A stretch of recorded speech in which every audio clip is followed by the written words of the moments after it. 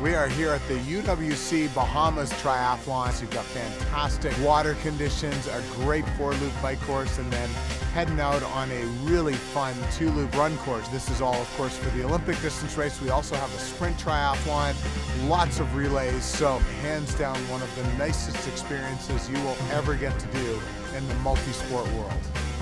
One of the most exciting things about the UWC Bahamas Triathlon is that you get Ironman champions, you get ITU specialists, you get Olympic distance non-drafting specialists. It's kind of fun watching ITU people, non-drafting Olympic, half Ironman, Ironman athletes all come together and see what they've got at the end of the season to put together. In terms of the competition, it's world class, and on top of that, the race is so well organised. I mean, the swim was 1500 metres, the bike, there's no traffic, it's four lap.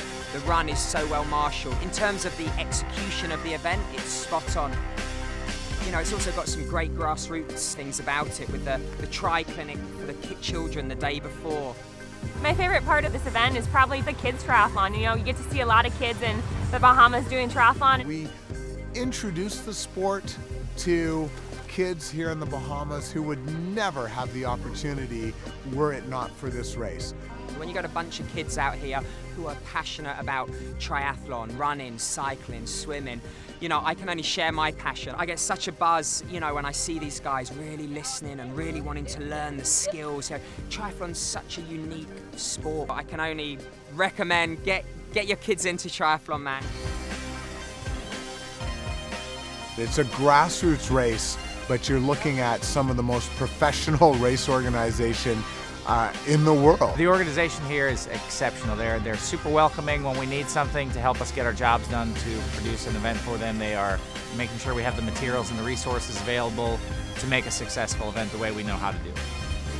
Things went very smooth. I always say an uneventful event is a very good thing to have. That means we've done our job, and uh, I think everything went very smooth from the smallest kids racing. We had some eight and unders to our world champions and Olympians. Everyone had a great time. It really is a you know a high-end race on, on, on a small scale, which is fantastic. This race I look forward to all year. It is just the most relaxing race and atmosphere I think I have ever been in. It really is an amazing event. I mean, swimming in water, you know, like this. And the finish line is one of the most picturesque I've ever had the pleasure of producing. Right here on the beach, palm trees in the background, island music playing.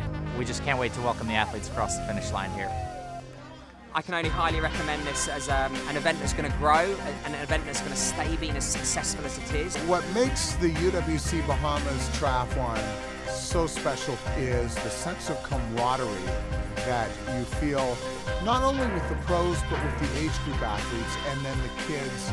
There is just a really great family atmosphere. It's a one of a kind race that keeps drawing you back.